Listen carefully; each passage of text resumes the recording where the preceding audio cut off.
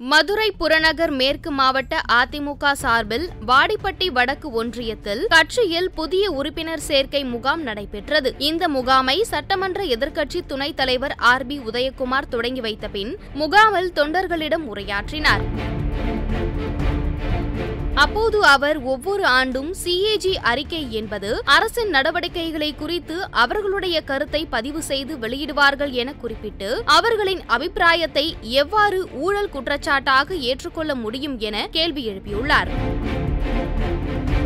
தமிழக மக்களுக்கு விடியல் தருவோம் என கூறியவர்கள் இன்றைக்கு முப்பதாயிரம் கோடியை கொள்ளையடித்திருக்கிறார்கள் என குற்றம் சாட்டிய ஆர் பி உதயகுமார் இதில் சிபிஐ விசாரணைக்கு உத்தரவிட வேண்டும் என்றும் இல்லை என்றால் ஸ்டாலினே இதற்கு பொறுப்பேற்று ராஜினாமா செய்ய வேண்டும் என வலியுறுத்தினார். மேலும் ஓபிஎஸ் தரப்பில் நடத்தப்பட்ட மாநாட்டை விமர்சித்த அவர் திமுகவின் கைகூலியாகவும் பிரதிநிதியாகவும் மாநாட்டில் சிலர் கலந்து கொண்டார்கள் என கூறி திமுகவின் பினாமி மாநாடு போல திருச்சியில் பன்னீர்செல்வம் தலைமையில் மாநாடு நடைபெற்று உள்ளது என விமர்சனம் செய்தார்.